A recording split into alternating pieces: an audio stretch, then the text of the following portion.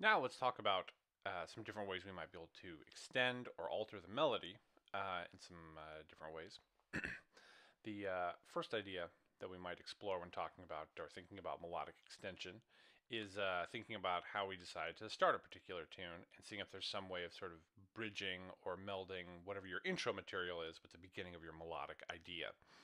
Uh, we've taken a look at and a listen to Maria Schneider's Days of Wine and Roses, and I think this is a pretty great example of a song that starts with a nice pedal or vamp idea.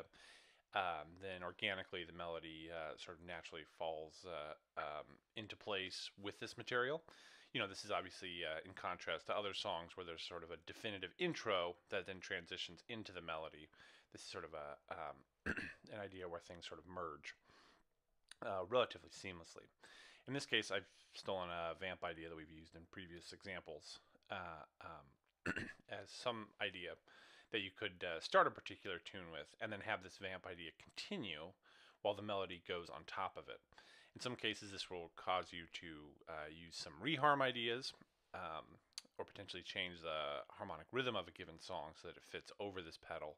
But it's sort of a, um, a very nice way of um, making all your material sort of synonymous with what's happening at the beginning to what's happening uh, in the uh, uh, over the melody.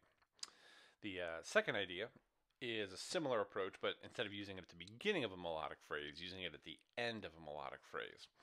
Uh, this is another way we could sort of extend the melody out. Uh, there's a lot of songs, especially from the Great American Songbook, that end on a very long note. You know, a note that's normally one bar four beats worth or maybe two beats worth. Uh, it's very possible to extend that out, you know, uh, to many additional bars. Maybe it's uh, uh, four bars, maybe it's eight bars, and then creating some type of vamp or pedal that happens underneath it.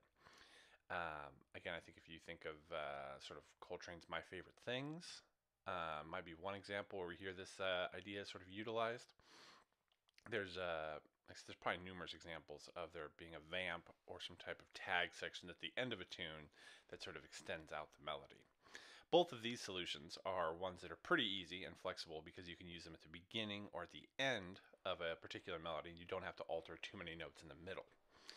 Uh, if you're looking for a solution for um, actually changing the uh, flow of melodic phrases, I would encourage you to consider utilizing uh, um, melody ideas that maybe happen at different rates than what they initially do.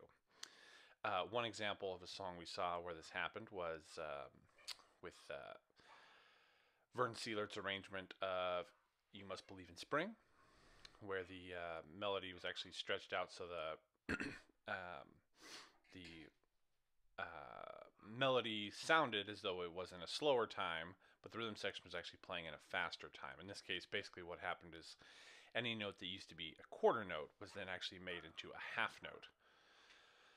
In this example here that I'm writing, you'll see this is like a very uh, um, uh, sort of a similar um, analysis for how that might happen. Again, this gives you flexibility to take a song that's normally a ballad and slower and make it sound as though it's uh, uh, you can have the rhythm section play faster while sort of maintaining the uh, original rate. If um, you were looking for something that's uh, uh, a little bit more creative or creates a lot more rhythmic tension, you of course could have a melody that happens at a rate that's not uh, just sort of equally one equals two or two equals one. You know, you could change the flow of this maybe to be dotted quarter notes. So instead of having each quarter note equal uh, a half note, each quarter note would equal a dotted quarter. Uh, in this case, you notice I'm using, uh, trying to use good notation here so we can clearly see each beat. Um, but those should all be dotted quarters or equal to 3 eighth notes. Now, if you sort of think about the repercussions of this, you can create some uh, pretty interesting melodic phrases that will uh, sort of resolve in different places. They might end up with a few bars of odd times or unusual meters in the middle and come up with some uh, relatively creative ideas. Again, you wouldn't necessarily want to do this for the entire melody, um, but as a uh, means of breaking things up in the middle, it could be pretty interesting. I would encourage you to explore all three routes.